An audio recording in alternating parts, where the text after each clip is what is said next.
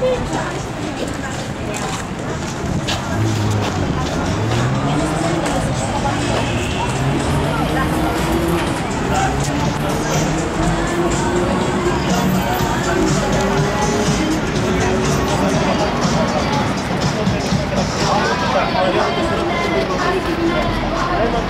what you like. You, my unbelievers.